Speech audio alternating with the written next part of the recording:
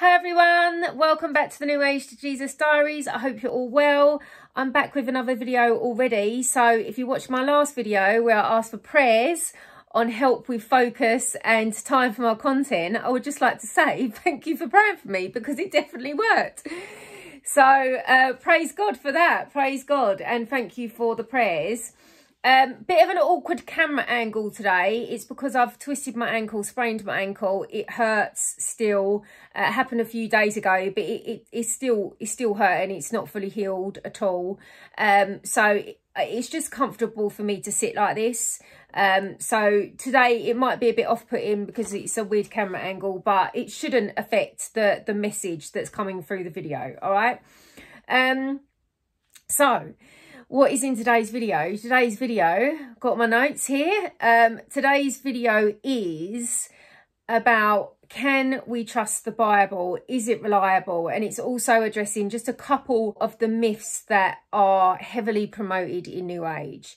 So one being that the Bible was changed um, at the Council of Nicaea. Um, that's like a massive theme that always runs through like the New Age community. I'll go through exactly what the myths are um, with regards to that because they are myths when I get to that part of the video.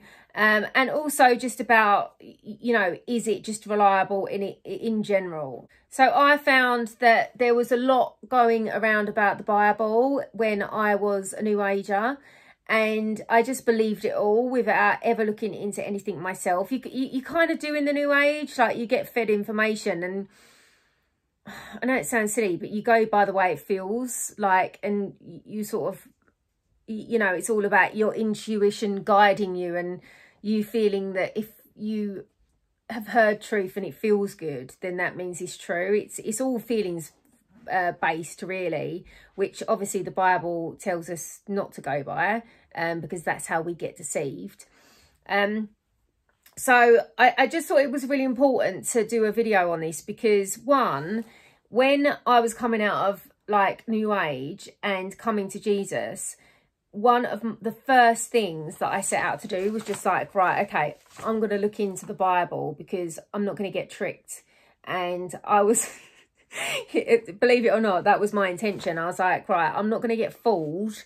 I need to know like how it's manipulated, how it's corrupted, like what bits I can trust, what bits I can't trust. And, you, know, I, I, was on this sort of mission to really delve deep into it and, you know, find the answers that I was looking for.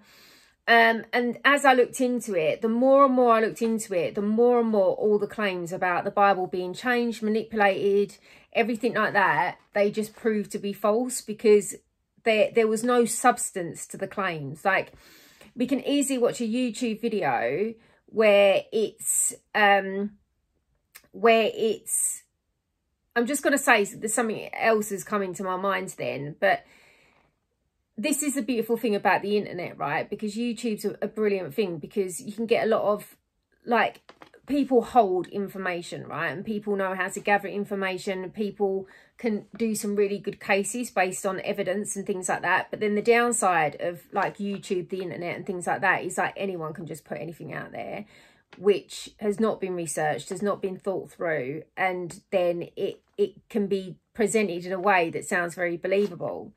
Now, the more I ventured into um, trying to find out if the Bible was manipulated and how. And to be honest, at this point, I still thought certain parts were. Um, but I thought that there was some, obviously some truth in it.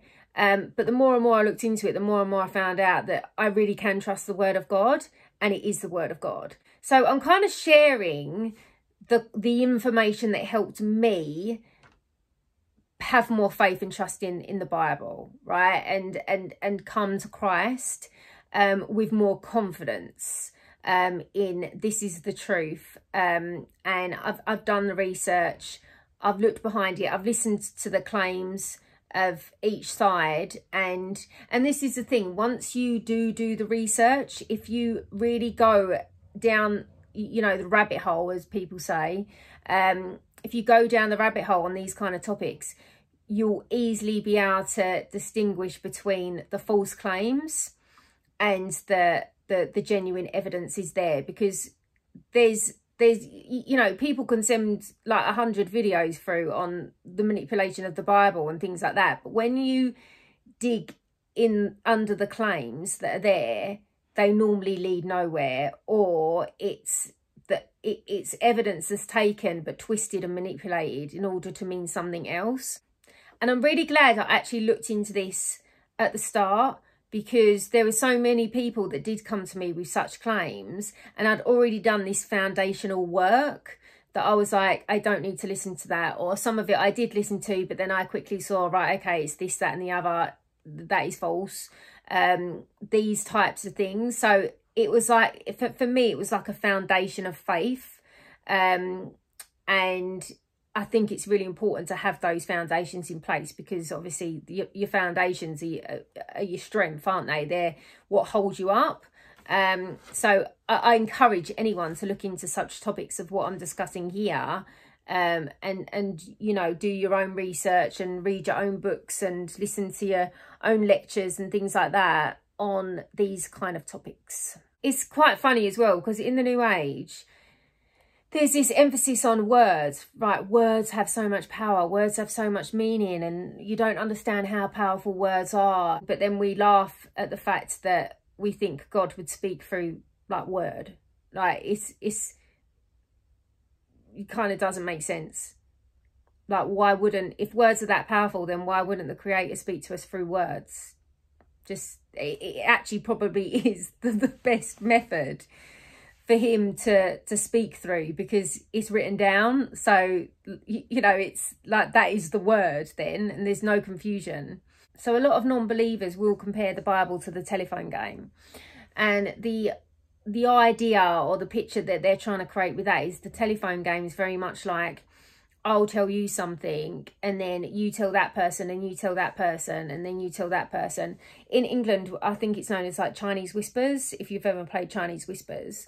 Um, but it's that the telephone game is not a very good representation of it because it doesn't happen like that. Because with the word of mouth you rely on memory. Um so we're not relying on memory because they the scribes they copied texts that were there with them. So it's basically making a copy of a copy of a copy of a copy. So people would say, oh, that's like the telephone game, so it gets lost in translation. Well, it's like, well, no, because they're copying from a, they're copying from something. So it's not like they're trying to do it from memory. So I just think it's a really poor representation. Um, but however, there are variants obviously in the texts because scribes will make mistakes or they might read something the wrong way around. So for example, one of the like a popular variant in the manuscripts is uh, some say Christ Jesus instead of Jesus Christ. Like those kind of things. Um, so there will always be variants. Like we've got loads of manuscripts. I think connected to Jesus, it's 24,000 manuscripts. Now, manuscripts connected to Caesar is like seven. And we know a lot about Caesar. So imagine how much information they can retain from these 24,000 manuscripts that are connected to Jesus. And over 5,000 are New Testament fragments. And we have actual copies of the New Testament as well. So this is, there's a lot of information that can be gathered and if anything, we are getting closer and closer to God's word rather than further away. Now, I'm not going to go into this point too much because I kind of did this on my KJV only video. So I, I just feel like I'd be repeating myself. But if you want to know more about like the translation and transmission, please go see that video. I'll link it in the description. But the main point I'm trying to make is it's very clear that God preserves his word. So there's evidence of that everywhere. If you, if you look for it, it's so easily, you it will literally just come like a vacuum because there's so much evidence out there about the Bible and the the fact that God preserves the word throughout. Now, like I said before, there will be variants because humans aren't perfect. And when we copy things, it's very unlikely that it's going to be an exact exact copy because there's room for human error, right? and then that human error will then obviously, you know, have an effect. So there, there will always be variants, but the main bulk of the meaning of the text, there's been no variance there. Like I, they say it's less than 1% for a variance for wonder meaning. But in the variants that are in the Bibles, the deity of Christ, the resurrection, like the virgin birth, things like that, there's no challenge there. Like they all are like in alignment with with the, the doctrines of Christianity, right? So there's there's no main fundamental doctrine of Christianity that is challenged through like variation of manuscripts. It's worth mentioning the Dead Sea Scrolls because this is like really good evidence that what I'm saying is correct. Um, the Dead Sea Scrolls around the 1950s, they were discovered. Um, they were copies of the Old Testament, which were a thousand years older than any previous copies we've had. And they were, nothing contradicted the copies that we have. So it's again a confirmation that God preserves his word, right? So at this point, I was like, right, okay, I, the, the manuscripts from a historical point of view, I can take as being reliable, truthful. Um, I mean, think about it, it's history. Like, it's history. Like, any other kind of history that we learn about, we never question the evidence. So the, the, these manuscripts that are found are history. They're history. So they, they hold just as much validation as any other historical document. And it's not just one, like we're talking about. There's thousands of these documents. So just like everything else that we class as history, this is also history as well. But then we go to like the the the sort of supernatural side because once you start to read the Bible and you open up the Bible, like it is like you're meeting with God and you might not feel that every time. You might not even feel that he's he's listening sometimes. Yeah he's there with you. But th there will be times when you do feel that really strongly. Um it obviously you know it kind of depends what season you're in and things like that. But the bible is a supernatural book. There's a reason why it's the best-selling book a year upon year upon year. Yeah it's because every time you open it you meet with god. Um and I've had some just some beautiful experiences through reading the Bible, some realizations, some like lessons learned, some like prophecies almost like just just just absolutely beautiful. Um and i do believe that i speak with god when i open the bible i in a, a conversation with god but it is also amazing, amazing, like absolutely mind blowing how the Bible has been put together. And sometimes you think it must be God. Like th there's no other way to explain it. So the Bible is written by 40 people over the space of 1,500 years. So there is a gap between the Old Testament and the New Testament of about 400 years. So what is so incredible is these, most of these authors, I mean, in the New Testament, they knew each other because they were like writing letters to each other and things like that. But most of these authors did not know each other. And they wrote these scriptures. Now, as Christians, we believe that all scripture is God breathed. So the Holy Spirit was was working through these people. So God was speaking through these people. So the words are God breathed words, right? And these people wrote the, like scripture and they all connect with one one another what they wrote but they didn't know each other they wasn't aware of what the other person was writing they wasn't even alive together a lot of the time so it's like absolutely mind-blowing that the theme i mean even in genesis Jesus is prophesied in Gen Genesis. Like Jesus runs through the whole entire Bible of the 1,500 years. It's, it's absolutely insane once you you get to know. And do you know what? I, I haven't even, I know I haven't even started. So I know what even I know is not even half of how incredible like the Bible is. And this is another thing that blew my mind, right? So Jesus fulfilled, Jesus fulfilled 300 prophecies from the Old Testament. So these writers that lived 400 years before or, or longer, yeah, or longer, they were writing and prophesy, prophesying the Messiah that would come and do these things. And Jesus came and fulfilled. Well, they say that the prophecies are over 300, but a lot of them are references. So actual prophecies, you can say 54.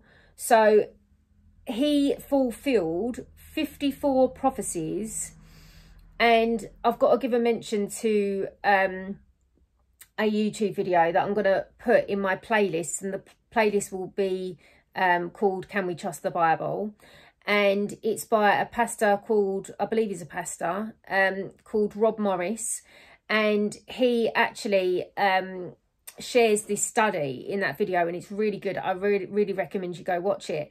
And basically they did a a study of the chances of him fulfilling the prophecies that he did and the chances were well there's not a number for it the chances were eight um it was a one with 18 zeros so there's not even a number for that which is just insane like he he fulfilled the prophecy of where he'd be born which how would you do that um where where and how he would die um just like things like there'd be casting lots over his clothes when he was crucified and things like that. Things that like a human couldn't set up, like they wouldn't be able to have control over.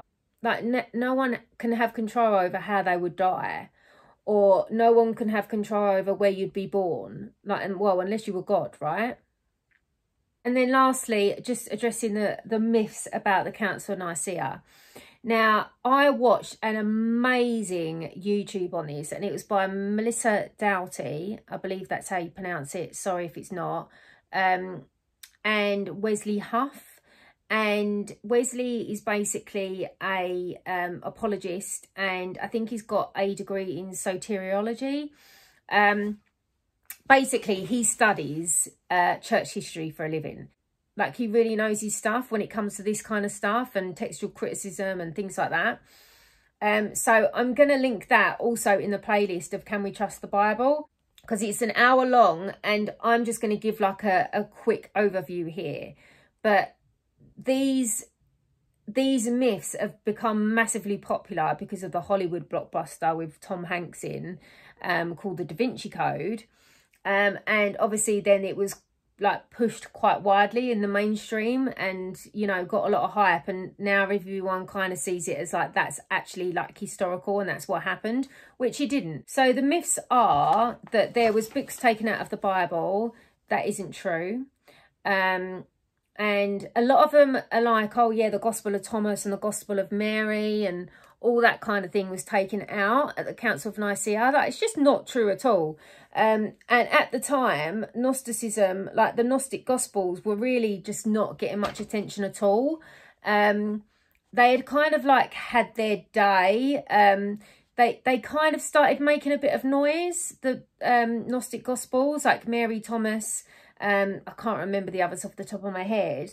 Um, but by this time it started kind of dying down a bit and they were never really taken well they wasn't taken seriously by the church um they were never really even considered scripture like god breathed scripture so that was a complete myth that, that there was books taken out of the bible at the council of nicaea um also that jesus was all of a sudden like made god at the council of nicaea so it, it's like the trinity the trinity was invented at the council of nicaea Again, that wasn't true. Um, I will delve into that because that's kind of the main connection that people make with a kind of deception with it. Um, but the suppression of women and reincarnation as well apparently was discussed at the, uh, the Council of Nicaea again, which was not true. But really, the reason for the Council of Nicaea wasn't to create the Trinity, it was to defend the Trinity. And meaning the tr Trinity was already being taught, three persons in one, right? um, that was already being taught like well before the date of the Council of Nicaea. There was this guy Arius and he basically was teaching um, another doctrine other than the Trinity and he was teaching that God that he was still teaching that Jesus was God but that he would, that, that God was God, Jesus, and the Holy Spirit is kind of like one being. So it wasn't three persons in one, it was just one being, but it was just like different aspects. So I'm not going to go into like too much about the, the Trinity and what Arius was teaching. Um, but there, there were differences. Yeah, there were differences in how, how he was teaching compared to the, the Trinity method of teaching, which um, is scriptural based. So the whole point of the Council of Nicaea was to basically just put an end to his teaching because it was just gaining a bit of traction. And they were like, well, okay, well, we've got to do something about this because, you, you know, it's, it's not scriptural. So um, this happens, like some of the main bishops, like the Bishop of Rome and things like that, didn't even go. Like it wasn't it wasn't this big ma mapped out massive event that people think it was um, or it's been made out to be, should I say. Um, but I think the reason why they've picked it, which Melissa and Wesley talk about in the um, in the video, is it, it's kind of like on the map that event so it's like quite easy to sort of suggest that oh yeah that that was a big thing because it actually is an event in history where you could easily pinpoint things to um, so it wasn't again in in the Da Vinci Code, which um they kind of make out that it was like a really close vote as well, and it wasn't. It was like there was like three hundred odd people there, um, three hundred and twelve or twenty or something like that, and it, the votes were like three to like three hundred. So it was it was just it, it was literally to sort of stop some noise that was happening really. So the whole point of the event was really just to put a stop to Arius teaching false doctrine. Like that's that's really what it came to, but it's just been mapped out as this massive thing where all these deceptions happened.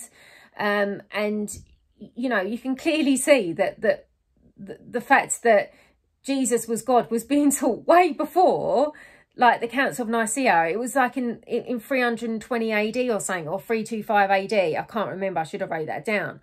But like this is like well long, like long after, like, you know, Christians uh, are claiming Christ to be like God, you know? It, it just, again, it's like one of these things that you look into and then once you see it, just, it just clearly doesn't add up. Like there's, it, there's just so much falseness in the claims. So yeah, I mean, that that is a very quick overview. They they discuss it in an hour on that YouTube and it really is an interesting conversation and I would encourage anyone to watch it that's actually interested in that topic because it, it's really good.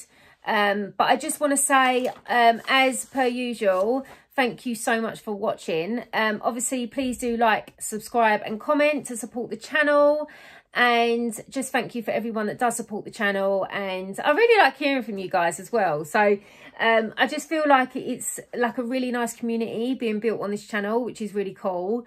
And I just want to say thank you to everyone that's been praying for the channel. Um, I really do appreciate it. And if there's any way that I can pray for you then please let me know. Um, but other than that I will just like to say thank you very much for watching and good night and God bless. Bye.